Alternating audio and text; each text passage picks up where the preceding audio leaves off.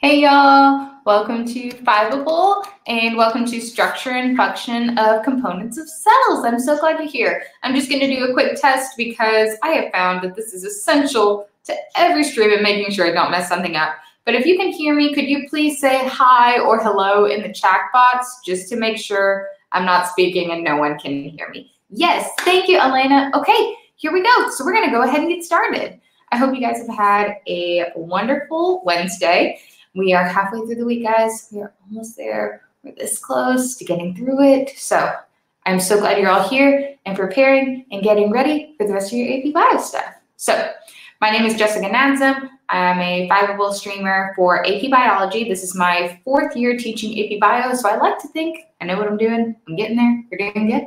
So let's go ahead and get started, guys. I'm going to share my screen with you. I will be sharing slides at the end of the session. I don't share them at the beginning because I'm a real life teacher. I do this for my day job. I know what happens when I do that. So I'm going to wait until the very, very end. So I appreciate your patience as well as your participation. So here's my slides. So y'all can see that. All right. Hope you're ready. Go team.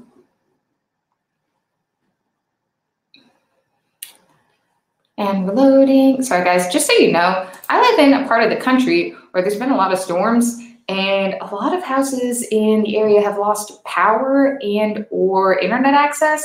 So if at any point I'm lagging or if at any point the screen is lagging or my voice is, please drop a hint in the chat about that so that I know and I can fix that.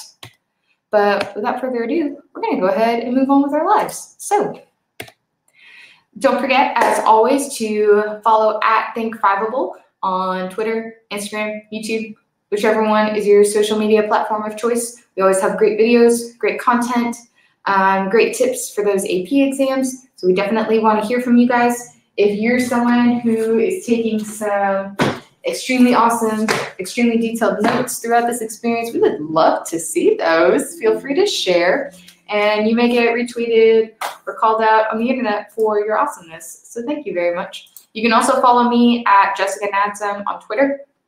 I don't have an Instagram for teaching, um, but I do have a Twitter. So if at any point you see something that looks really cool and you want your AP Bio teacher to maybe look into that, uh, feel free to show them my Twitter because I have lots of cool stuff on there. So and without further ado, here's the part that you actually came for. You want to hear in this stream about organelle structure and function and how organelle structure is going to relate to energy. So you've been hearing this whole structure function, structure function train for a hot second now. And you may or may not be at the point where you're like, teacher person, please stop repeating that, but just wait till you get to evolution and we start saying fitness, fitness, fitness fitness over and over again. Every single unit of biology, there's going to be some phrase we just keep repeating at you constantly, and we're going to want you to regurgitate it. And the reason we do that is it's really, really, really, really, really important. In this case, that particular one is going to be structure and function because structure impacts function. If you haven't had that like tattooed into your brain yet, we would really appreciate it if you could just go ahead and do that. Um, but here's my personal metaphor for structure and function, just to give you some tips. Um, because I, I, remember even when I was in biology as a kid, and my teacher, um, she was from Brazil, and so she had a bit of an accent. It was an adorable accent, but um, she called them organelles, not organelles, organelles. And so I've always remembered that in my head. But whenever she would talk about structure and function, I was like, yeah, they have a certain shape and they do a certain job. What's the big deal? Da da da da da. And little naive me was not embracing the full importance of the AP biology curriculum. So that was my own fault. So I'm going to emphasize it to you right now. So structure and function, we are specifically relating the structure of an object to the job it does. If we change that structure, it can't do the same job. So if you've seen my stuff before, I always talk about my hand.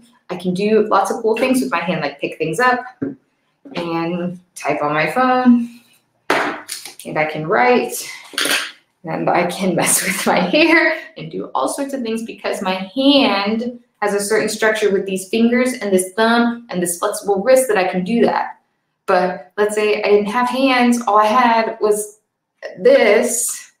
I wouldn't be able to type. I wouldn't be able to do my hair to the style to which I'm accustomed. If I wanted to pick stuff up, it'd be slightly more complicated.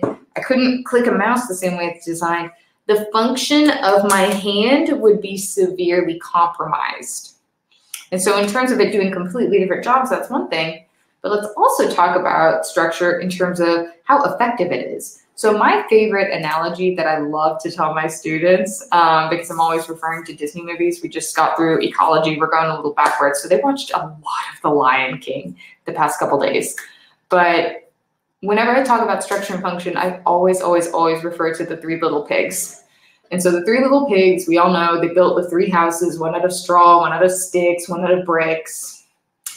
And as we all learned in kindergarten, only one little pig made it out alive because the structure of his house was functional to keep the wolf from blowing it down. So if you have a straw house, your structure is flimsier. It may be more functional in that it doesn't take you as long or cost as much money. But if a wolf or another predator with very large lungs comes around, um, you're not going to make it. So that structure is very important to what function you want it to have. Now let's say this little pig lived on an island in the middle of nowhere, nowhere, and he needed to make his house out of palm fronds because he lived on a tropical island and all it had was palm trees. There's no wolves there. It's fine. He can build his little house out of palm fronds. It's going to make it. It's going to keep the sun from, pardon me, barbecuing him on a beach. So structure is important to your function depending on what you want that function to be. Now you've also noticed I've got this little image of a battery. So here I'm going to get my pointer. This cute little battery. He's real happy and then he gets sad because he loses energy. And so we're going to talk today about energy and how that organelle structure is going to relate to energy. So I want you to tap back into, hopefully you've had it before, your pre-AP bio or the biology you had before, where maybe you talked about these magic words called photosynthesis and cellular respiration, because we're going to talk about that today. So without further ado, just some reminders from your last stream. There are some organelles, organelles, if that helps it stick in your brain a little more, that you should have learned about in the last stream. Um, those should have been ribosomes. Can anyone feel free to use the chat box, remind me what ribosomes are or what they do. I will take either a description of their structure or a description of their function. Tell me what ribosomes are. What do they do? Protein factory. Ooh, I like that. Protein synthesis. Good. Okay. Protein factory is a good one, um, especially once you get into what we call the central dogma or gene expression. Um, they literally make proteins. They're also made of proteins. Very good. Um, what is the endo? I'm going to switch this up. What are the two types of endoplasmic reticulum? Two types of endoplasmic reticulum. Hmm.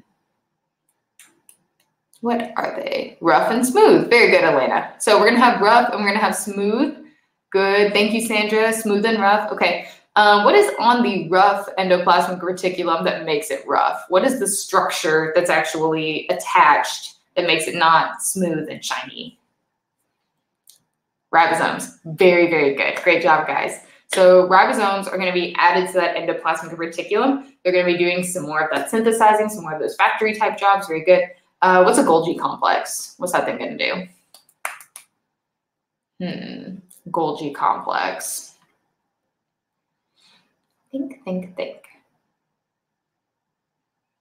Lipid factory. Ooh, I like that. I love this factory analogy. So, um, Golgi complex, someone here said lipid factory. Da, da, da, Oops, I didn't mean to do that. Um, sorry. I was trying to get the pointer, but my mouse is glitching a little. So Golgi complex, we can see it. Do I not have it on here? I may not have it on this one because, oops. Um, but if you remember from your last stream, Golgi complex, the way it was always described to me was it's like a stack of pancakes all stacked on top of each other. And those, oh, there it is. Sorry, my little um, preview thing was blocking it so I couldn't see. So here's our Golgi complex. It's this thing in orange. It's that stack of pancakes that are all stacked on top of each other. And those are actually going to be pieces of endoplasmic reticulum that have pinched off. And once they pinch off, they're like, I don't know where to go. And so they all stack into these pancakes. And so they are going to work more to synthesize proteins. Um, and it's not even they're synthesizing them, they're not the factory per se. Um, Golgi apparatus or Golgi complex, whichever one you call it, is going to be more devoted to actually putting the finishing touches on. Yes, USPS. That's perfect. It's like um, US Postal Service. They ship it to you when it's done. So uh, let's say you have um, an Amazon store or some sort of internet store, eBay, whatever. Um, you have created a beautiful book, um, but you don't have time to take that book and package it and ship it. Golgi Complex is going to wrap it up in cardboard and put some bubble wrap on it before it sends it out into the world. Very, very good. All right, mitochondria. If you've taken a BuzzFeed quiz, you've seen this one before. What does the mitochondria do? They create energy. Very, very good. Um, think of them as the money printer. So we always hear about the mint of the United States who prints our actual like green dollar bills so that we can have money, those fresh, crisp dollar bills. Uh, mitochondria creates your energy. They're basically printing the cells money. They don't use creates ATP. Very good. That's what I was about to ask next, Ami-san. So thank you so much. Um, they don't print mitochondria. Don't print money. They create ATP, which is like cell money. Lysosomes. What are lysosomes going to do? Lysosomes. Think, think, think, think, think. Digest stuff. Very good. So you get a bacteria in your body, and because you, I don't know, some rude person forgot to wash their hands, and you sat down at that desk and you picked up their germs. Now they're on you. But if you're lucky and your immune system's doing what it's supposed to, it will absorb those germs and the lysosomes will actually digest that bacteria before it can infect you. So that's going to be a function of your white blood cells. It's also going to digest just regular things. Let's say your body is trying to absorb some nutrients you've taken in. Maybe you've had a delicious cheeseburger. So you've got some carbs and some protein you've got to digest. Lysosomes are going to have special enzymes to do that. Vacuoles. What are we going to do vacuoles for? Vacuoles. What are we going to do with those guys? Hold water. Yes. So in plants, especially vacuoles are going to be very important for holding water. Um, transport, mm, they can a little bit. Um, I will caution you in terms of AP and their tests. Most questions I've seen, they're going to be more concerned with the storage. So if you've ever seen like, maybe you've driven past one of these, um, like a long-term storage facility where you know you can go like rent a garage for six months to a year. You don't have enough room for all your stuff. So you pay money to go store your stuff. If you've ever seen the show Storage Wars, um, if you have a parent who's 45 or older, um, you may have a parent who watches that. My dad loves Storage Wars, but it's where you just go and pay for someone to hold your stuff for you.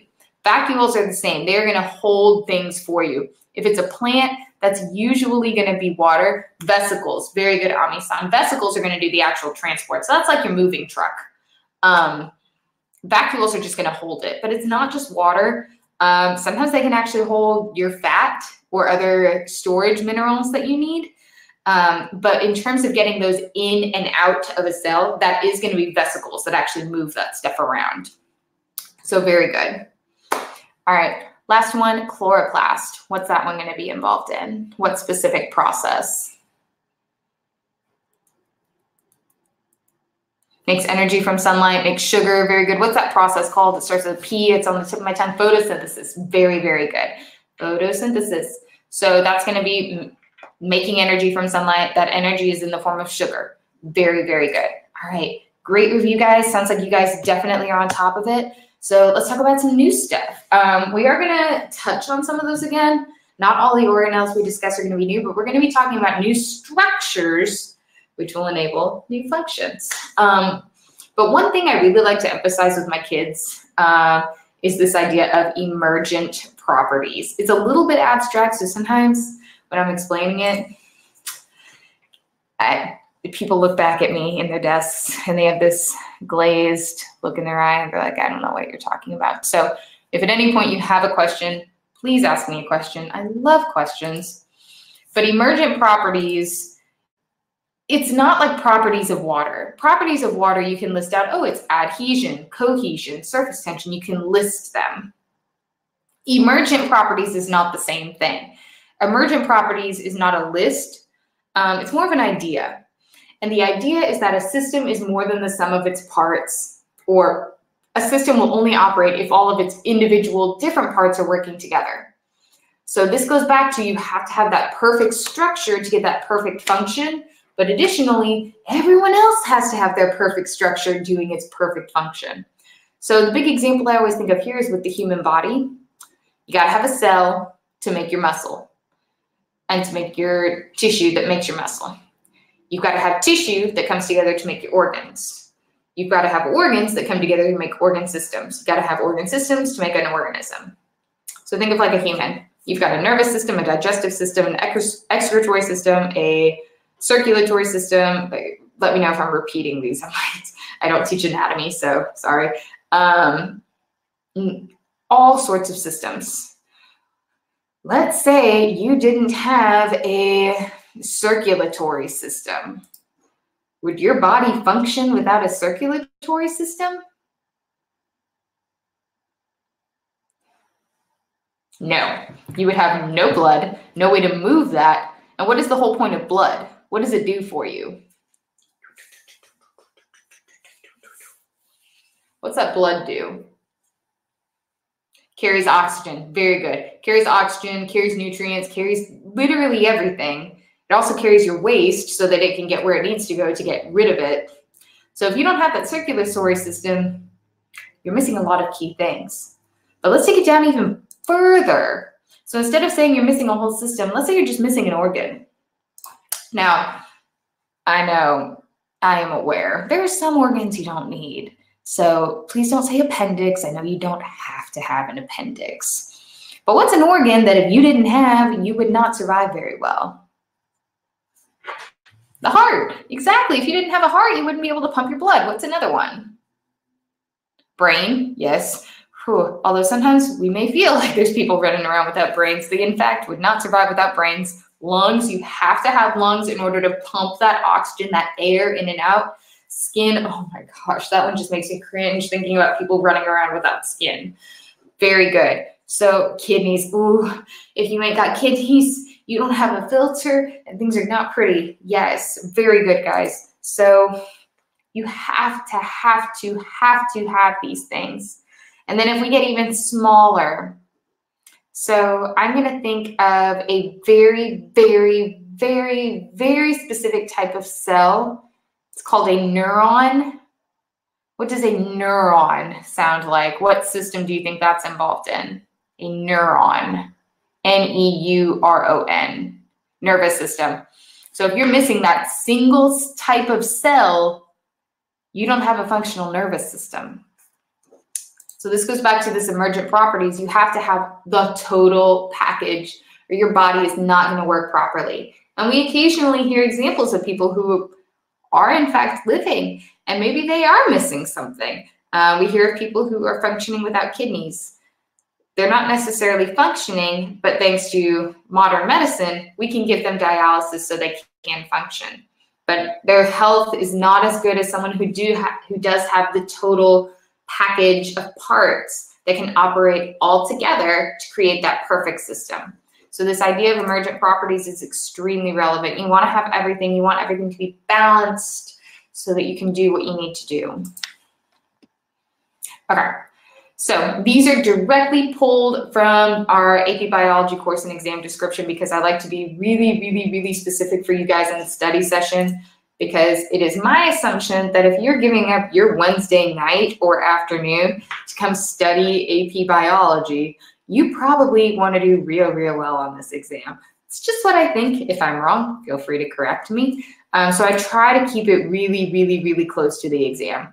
So one of the things that you have to be able to do to get that full application on the exam is explain how subcellular components and organelles contribute to the function of the cell. So first thing I want you to think of here, just from hearing that, what is the actual function of a cell? What is a cell's job? What is its role? Why do you need a cell? What's it doing that's so important? Maintain homeostasis, good. Keep talking. Keep telling me things, guys. Hold DNA, good. Give me one more. Sandra, we haven't heard from you. Tell me something, Sandra, or Shreya, either one of you. What do we need a cell for? What is that cell doing that is oh so important?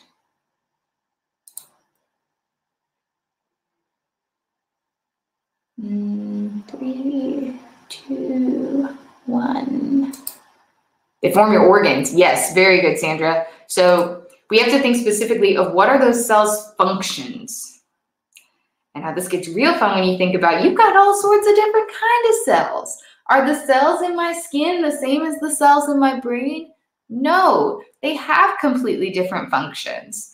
And so those cells, if I pick one off my skin or manage to convince someone to pick one out of my brain and I look at them under a microscope, they're not going to look the same. There's actually a course you can take in college called histology, where literally what you do is look at cells under a lab and you're able to determine, oh, this one is from the liver, this one is from the kidney, this is one is from the stomach. And the reason for that is you can tell the function of that cell based on its structure.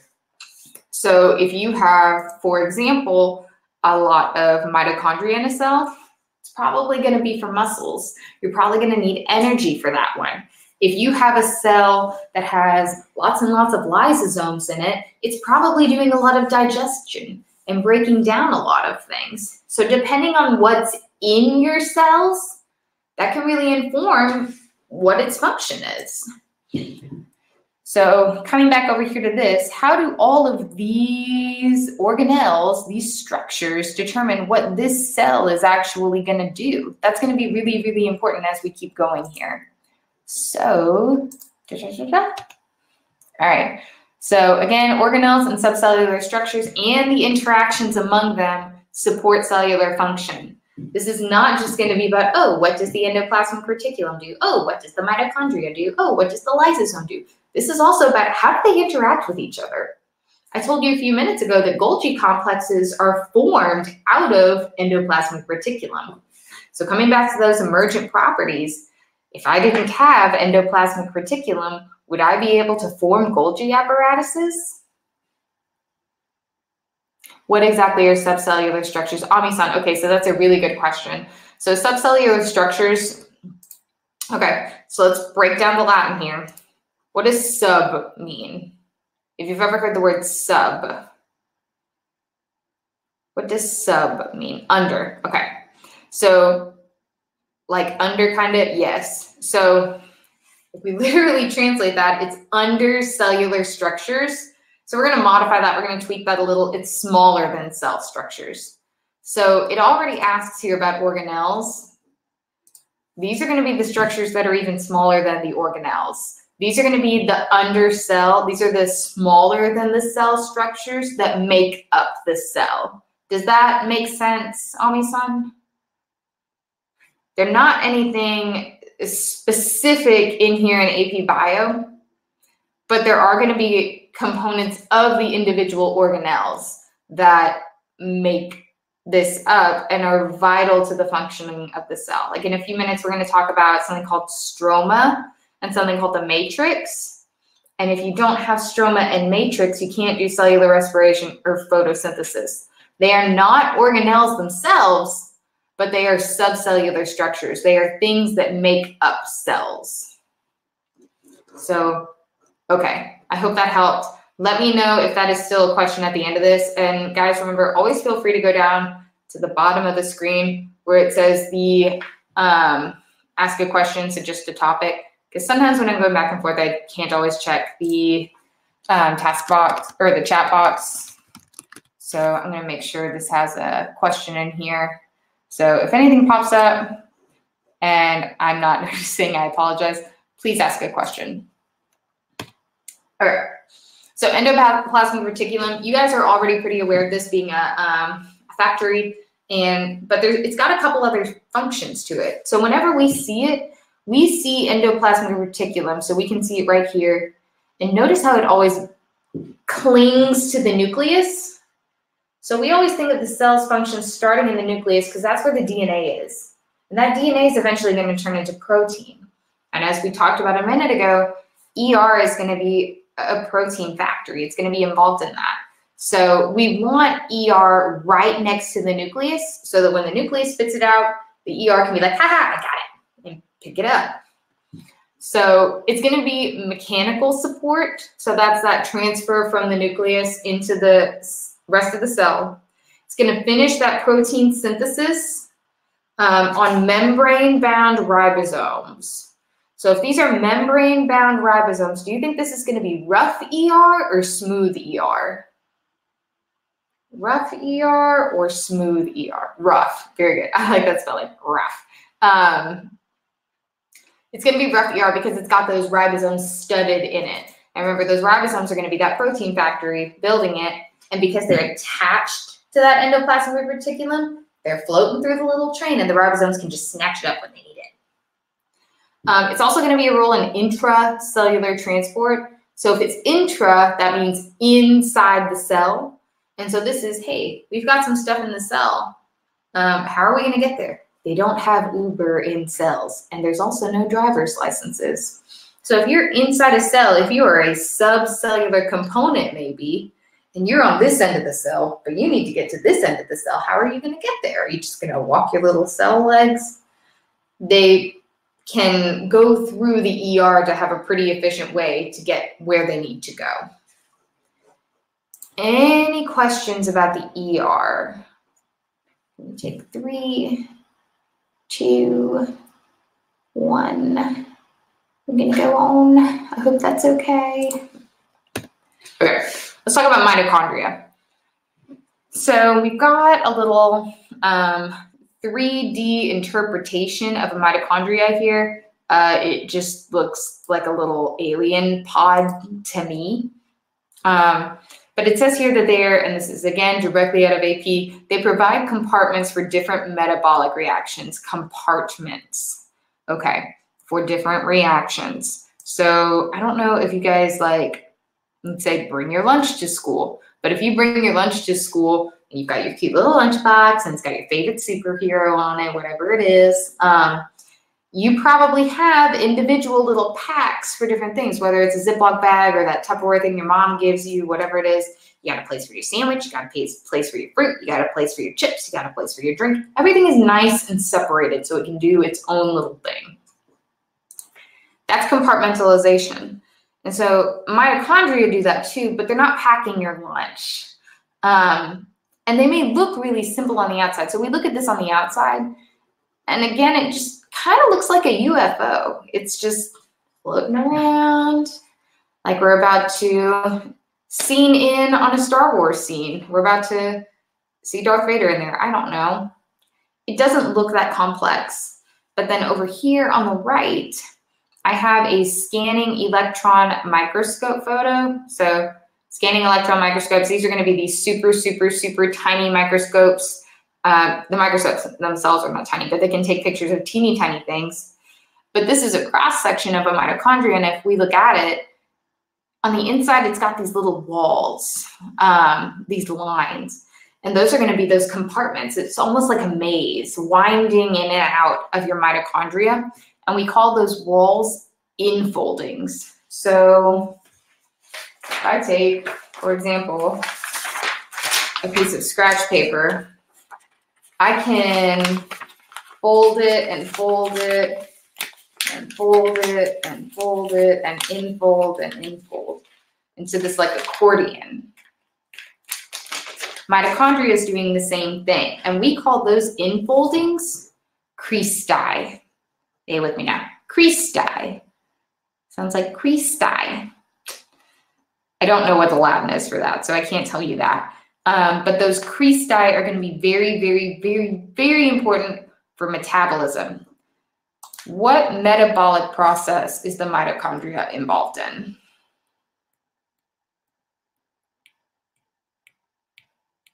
Think, think. Respiration, very good. So in respiration, we've got to break down particles to steal energy from them. Good so far. Now, I want you to think, if you just had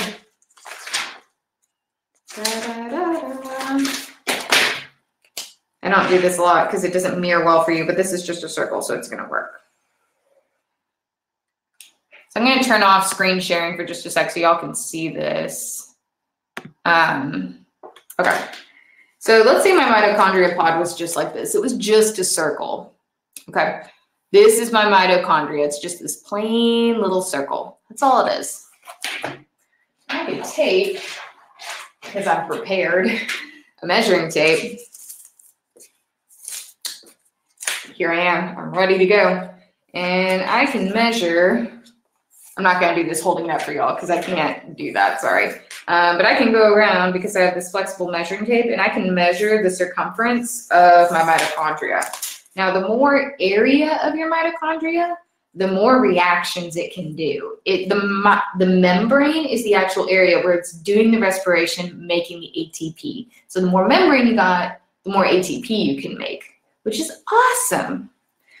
And so I'm measuring this, and it's about this is not perfect, but guys, I'm doing what I can. Um, it's roughly like 19 inches circumference. I know that's not perfect. I just can't hold it up. So that's 19 inches of surface area where we can be making ATP. That's cool. That's fine. I got a bunch of mitochondria. I'm sure that's plenty. But what if I could increase my surface area? So what I'm going to do here I'm going to add my cristae, those little infoldings. Y'all, I didn't go to art school, so please work with me here. Um, so I'm going to add these little infoldings to my membrane. So you see, I've got all these little foldings. This is still the membrane, but it's a cristae. It's that infolding membrane to increase our surface area. So I'm going to measure this again for your learning pleasure. So I'm wrapping around here, wrapping around here. Ooh, I hope I have enough measuring tape. And so if I wrap all the way around all of these folds with my measuring tape, oh goodness gracious, I hope we have enough. We're almost out. Um, okay. If I go with all those foldings, I actually get up to, I know this is backwards, I'm sorry, to 46 inches. So when I just had the circle, I only had 19 inches of surface area to make ATP on. But when I add those cristae, I've got 46 inches of surface area to make even more ATP. Now, I don't know if y'all are in business or anything, um, but I'd rather make more ATP than make less ATP if I can do that. So that's why these infoldings are so important for metabolism. Does, I'm to open that Chrome tab back up. Um, does anyone have any questions about the cristae or how that increases surface area? I know I didn't measure that right in front of you, but I promise it's real. I did my best in the 20 seconds I took. Three, two, one. Okay. All right. So now let's talk a little bit more about the lysosomes and going more in depth with those. So lysosomes, they're real common in your belly because I don't know about you guys, but I enjoy eating. And when I eat, my body has to break down that stuff because eating a cheeseburger or a piece of pizza or nachos or whatever else I had for dinner, I can chew it up and send it down to my stomach. But it still has some more work to do. So lysosomes have these things called hydrolytic enzymes. Can anyone remind me, what is hydrolysis? And Elena, I'll answer your question in just a sec, but what is hydrolysis?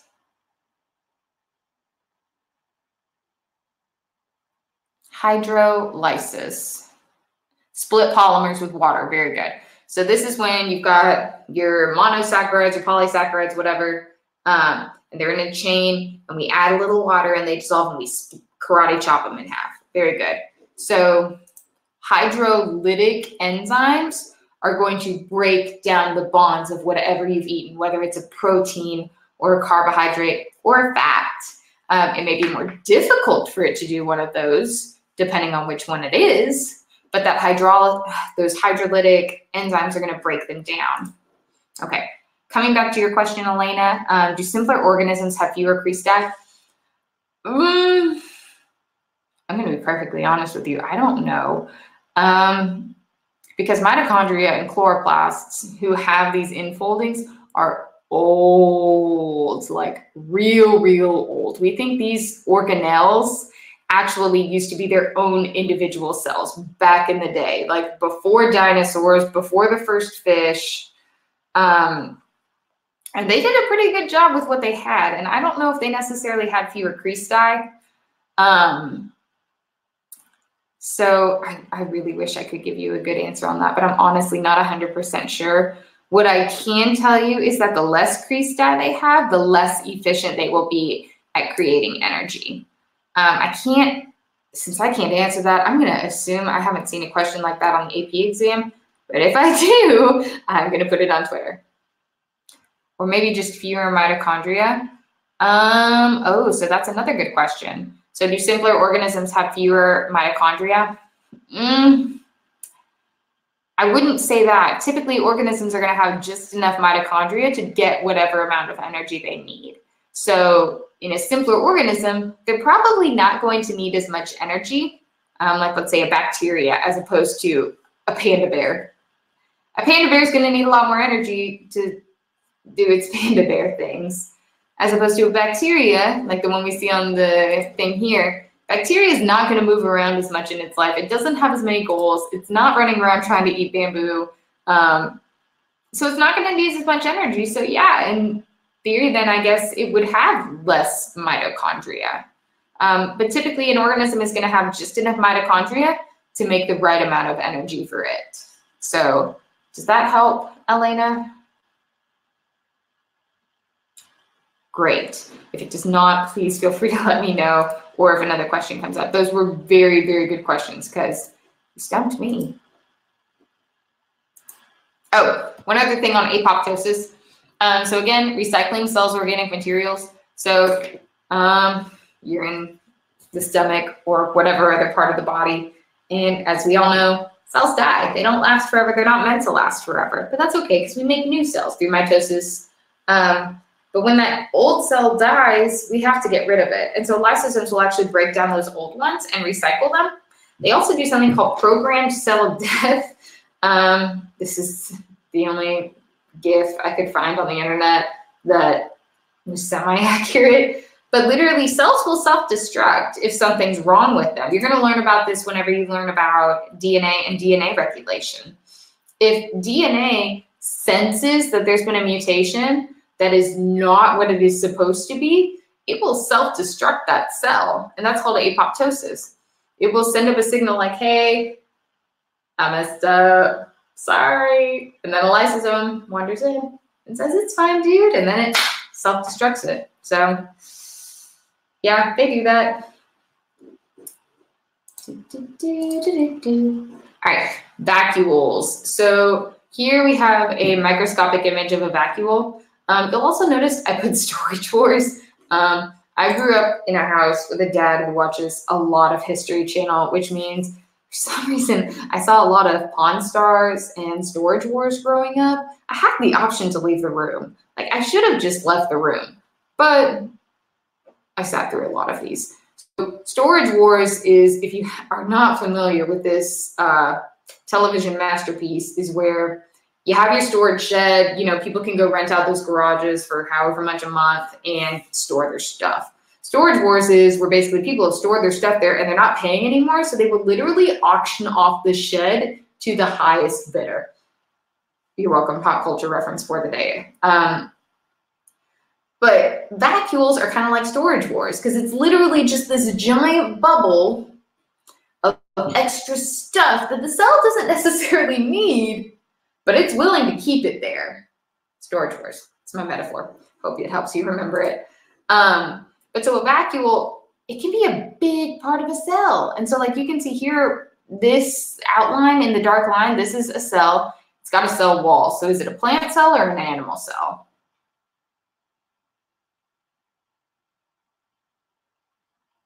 Plant cell or animal cell? Plant, very good. So this is a plant cell. It's got a, a cell wall. It's got a cell membrane in there as well. And this whole thing is making up this big vacuole. So if it's a plant, it's usually going to hold water because plants like water. Part of the reason they can stand up, so like, I don't know how well y'all can see. I'm going to stop sharing for a minute. Um, behind me, I have this cactus. Cactuses are chunky plants is the best way I can put it. You know, they're not skinny. If it's a skinny cactus, that's a problem. That means it doesn't have enough water. The reason a cactus is so big is because it's holding lots and lots of water in there. That's why it's a firm plant. If you ever um, touch it, don't touch the spikes, obviously. Um, but the plant is very, very firm, and that's because it's hoarding all its water in there because cacti live in the desert. So it's my cactus. I made that myself. I'm very proud of it. Um. So vacuoles are going to be really important in water, which was mentioned earlier. Um, but they are going to be important in plants and other, not in, not just in plants, uh, but also in animals. They can be used to um, store and release macromolecules. So there's not just a drought coming, there's a famine coming, and the plants know um, that they're not going to have enough food to last through winter because there's not enough sunlight, things like that. And so they can use vacuoles to store carbon molecules, carbohydrates as well. Um, plants make fats as well. Humans do this. This is how we store our energy long term, whether it's fat or glycogen. So vacuoles are going to be very, very important in storage. Also, if you need to hold waste. All right, let's look at this next one. Okay, so we're going to get more into the energy now. Before I do that, does anyone have any questions about these organelles that I've been talking about? Anything at all? Three, two, one.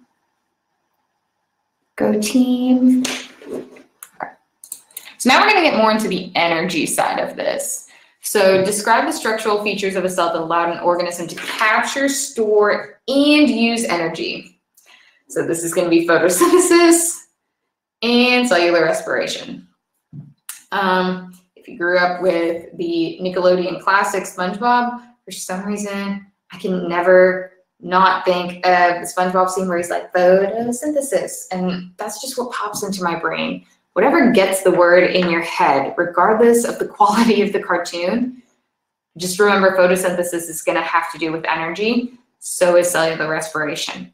But in this case, we're talking about capturing energy, whether that's light energy that a plant catches on a leaf or a chicken that you hunted down to eat for dinner to harvest its energy. This is also going to be about storage. How do you store that energy? Do you store it as fat? Do you store it as muscle? Do you store it in a vacuole? And finally, using that energy. Um, you can store it and you can catch it all day, but if you can't use it, it doesn't matter. Um, if you remember from when you guys were learning about carbohydrates, can you guys digest cellulose? Can we digest cellulose? Grass? Cellulose is in grass? No. No, we cannot. Um, cows can because cows have like six stomachs and a bunch of different enzymes for that. But we can't use or access that actual energy. We do not have the structure to perform that function. See, I did it again. You didn't think I'd say it again, but I did. Um, we don't have that. So if you want to access that energy, you have to do it in a super specific way that goes with that structure. So we already kind of talked about this, but the folding of this inner membrane is going to increase surface area, and that's going to allow more ATP to be made. In this unit, you do not have to know the specific mechanisms behind cellular respiration and photosynthesis. You do not need to know that yet. You will in May when you take the actual test. But for right now, if you're about to take like your test over this, I would assume your teacher is not testing you over how does cellular respiration work. But you will need to know in the long run, and you're here getting ahead anyway, so I'm going to go ahead and tell you.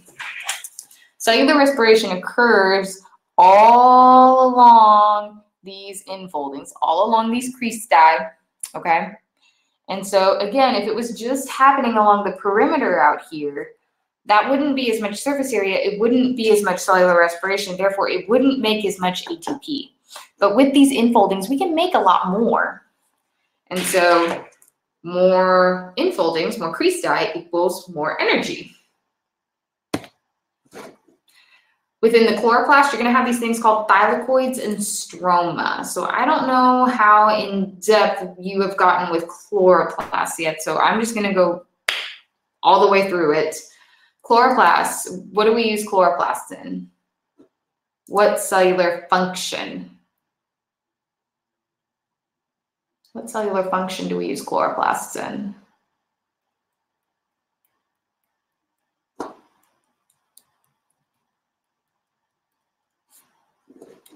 Photosynthesis. Very good, Elena. Good job. So chloroplasts are going to be very important photosynthesis. Um, I've got another microscope image here of cells from a plant, and they got these little green dots. Those are your chloroplasts. And then we can zoom in over here on the left to see what those look like. And so same as before with the mitochondria, these are going to have a double membrane for increased surface area because we like increased surface area. So if you look at your image here, you've got an inner membrane and an outer membrane. So it's like an onion. It's got that double layer. But then on the inside, it's not going to have the same infoldings. It's actually going to have these little stacks. Um, and these stacks are called thylakoids. And they're going to be the things that are actually doing your photosynthesis for you. Meanwhile, we have, this would be another, both of these, thylakoid and stroma, are really good examples of subcellular components because they're not organelles, but they make up the organelles. So the thylakoids are these stacks here. The stroma is this liquid that's just kind of floating around all through the thylakoid, and it's going to be a medium for those photosynthetic reactions. So we have these thylakoids and they're organized into stacks called grana. So each individual little frisbee here that you can see is our thylakoid. And then when we put them in this little pancake stack, that's a grana. We keep those grana inside the thylakoid, and then again, we surround it with this stroma.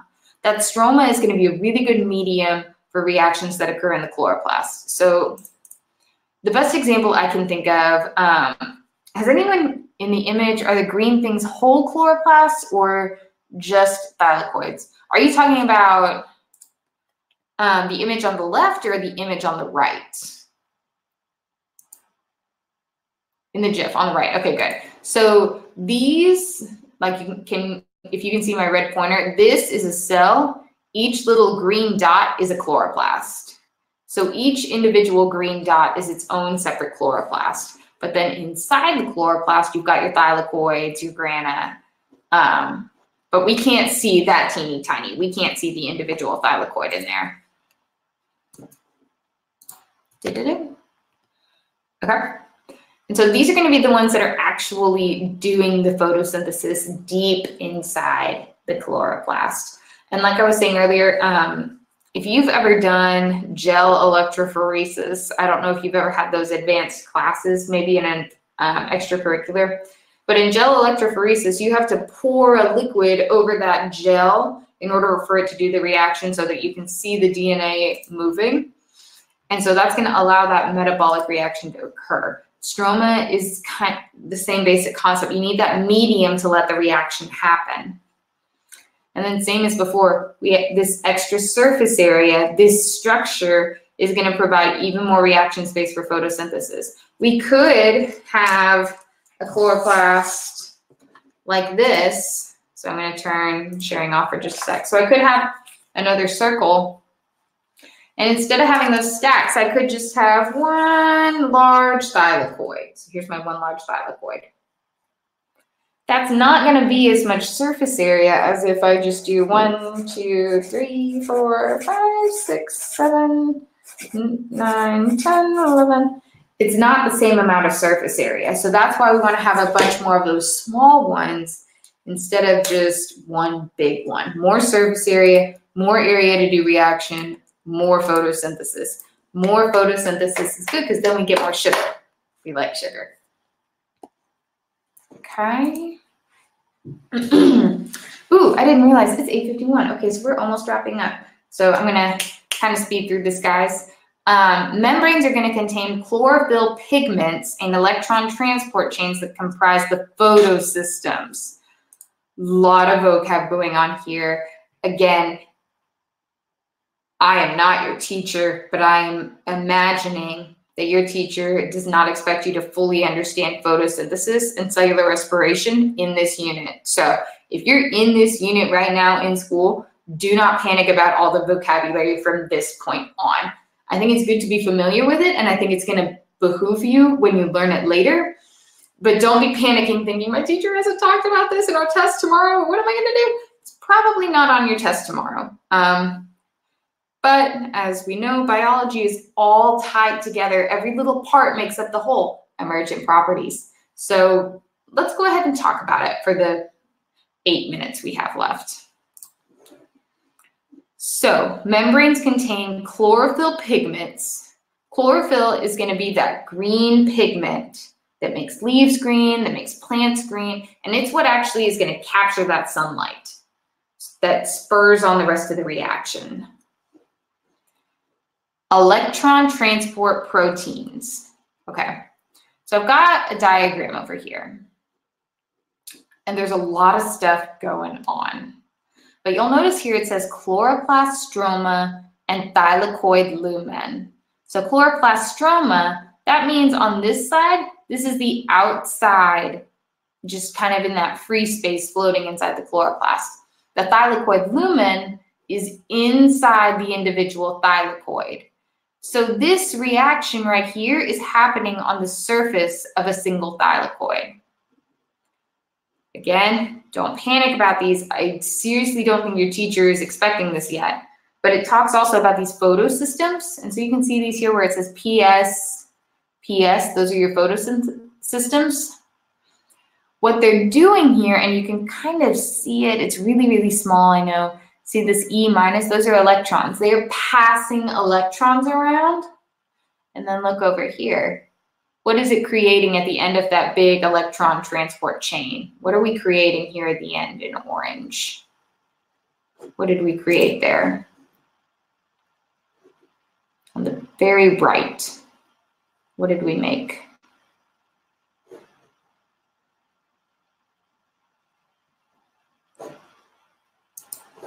What's this thing?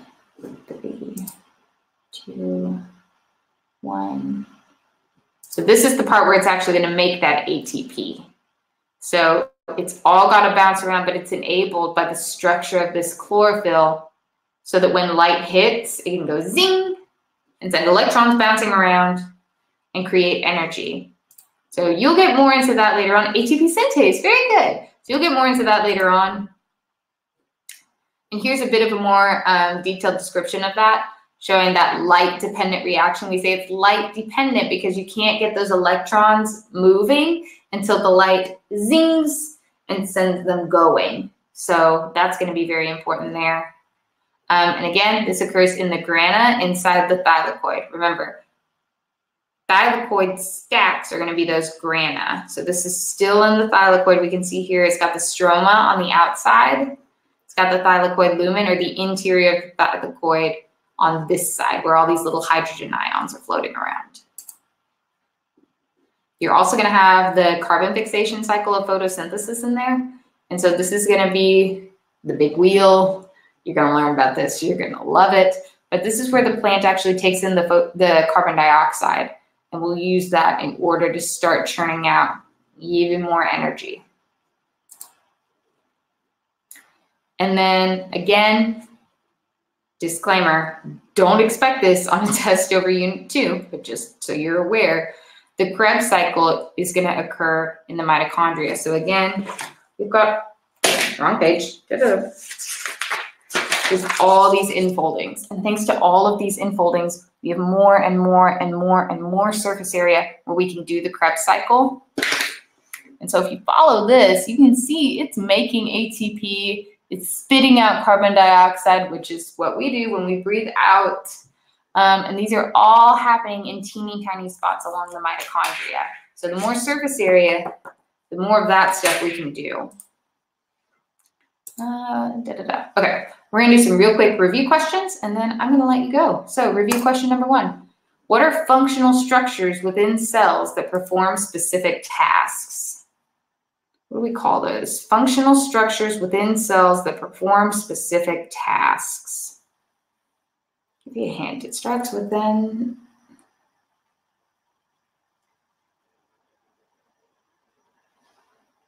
Organelles, very good, Elena. And what do we call the folds in the mitochondria? These things, what do we call those?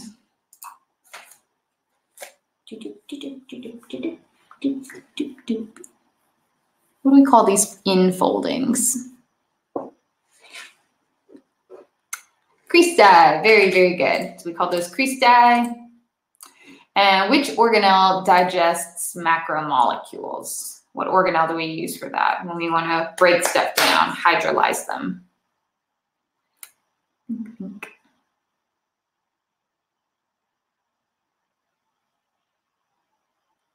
Organelle that breaks things down, digests them. Starts with an L, lysosome. Very good, Omi-san. Great. Okay, an organelle found in plants and animals. It synthesizes hormones and lipids. Ooh, what's this one going to be? We haven't talked about this one too much. So this is going to be reaching back a little bit. What kind of organelle? What's that going to be? Smooth ER. Very good, Elena. That's going to be our smooth ER. We did it!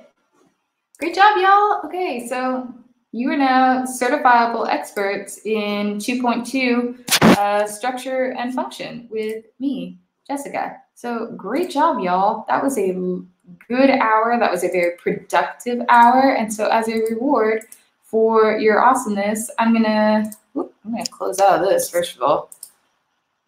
Y'all don't need to see all my tabs. There's a lot going on in the life. So, hi, here's my whole face. But as a reward for your awesomeness, I'm going to go ahead and give you a link to these slides.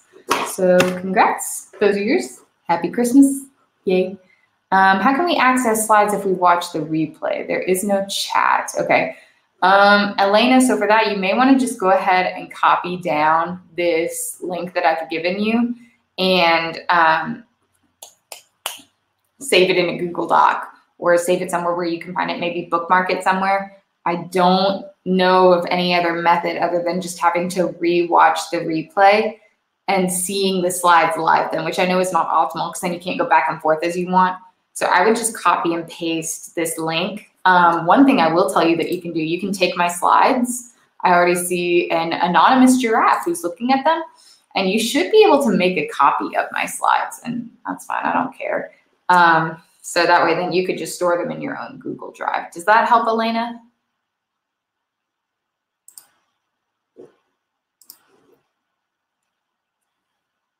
Three. Okay. Yeah, Elena, I totally understand. Um, it's crazy. A lot of my students, they have to go back and rewatch. So um, yes, just I would make a copy of these. Very good. But you did awesome today, so thank you. All right, guys, but it is nine o'clock and nine o'clock central. That's where I am. And quite frankly, it's past my bedtime. So I hope y'all have a great day. Um, if you have any last minute questions, feel free to drop them in the ask a question box and I'll try to check them real quick while I'm doing a few things to close down. But other than that, great job, y'all. Y'all are on the right track. High five to you for being some awesome kids. Uh, don't forget to go and follow Think Fiveable on Twitter, Instagram, wherever you do your social media and post your stuff because we'd love to hear about you. But that's all I got, dudes. Great job, y'all. I'll see y'all. Oh, just so y'all know, I think I will be back. Do, do, do, do. I will be doing a session on plasma membranes. Is it next week? Yeah, I'll be doing one next week, next Thursday, like a week from today. Um, so be on the lookout for that. If you like my teaching style and all the stuff I post, I'll be here next week. It's on Fiveable. It'll be over cell membranes. It's going to be great. I'll see you guys then. Bye bye.